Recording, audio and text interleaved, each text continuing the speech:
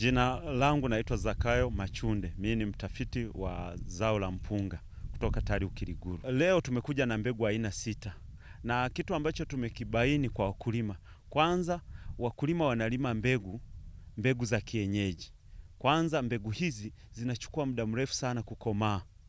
Uh, kuanzia siku mia moja thelathini mpaka siku mia moja hamsini wakati mbegu zetu za kitaalamu nyingi zinatumia kati ya siku mia moja na kumi mpaka siku mia moja na ishirini. Kwa hiyo kwa kuchukua muda mfupi hizi mbegu zinakomaa na zinaepuka kipindi cha ukame. Kwa hiyo kabla ukame haujawa mwingi, mbegu hizi zinakuwa tayari zimekomaa. Lakini jambo la pili, mbegu zetu hizi za kitaalamu zina mavuno mengi.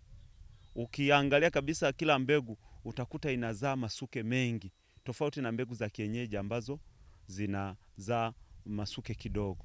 Lakini jambo lingine, mbegu hizi za kitaalamu zina zinakubaliana sana na teknolojia za kisasa, kwa sababu uki, katika mbegu za kienyeji kwa mfano mathalani, ukiweka mbolea.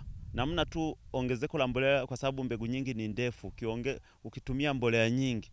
Hizo mbegu e, mwishoni wakati zitakapoanza kubeba zitakapoanza kuzaa zinaweza kuanguka. Lakini mbegu zetu hizi nyingi za kitaalamu ni fupi, kwa hiyo hata matumizi ukiongeza kidogo matumizi ya mbolea bado itakupa mavuno mengi, lakini haziwezi kuanguka.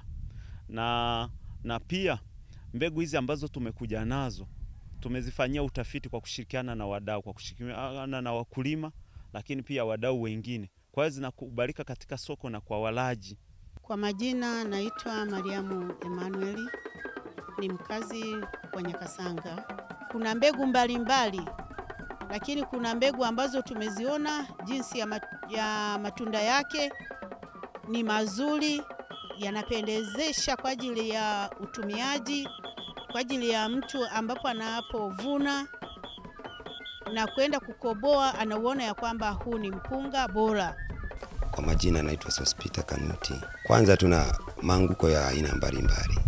Kwa mtazamo, wengi tunalilia kwanza kulima sehemu kubwa ambapo uwezo wenyewe haukizi, na ndio maana sasa hata kama ukishauriwa ulime kitaalamu inashindikana kulingana na uwezo wako. Lakini nimejifunza kitu kwamba iko haja ya kuwa na eneo dogo ambalo ukalitunza kitaalamu na likakupa mavuno yaliyo mengi na yenye uhitaji.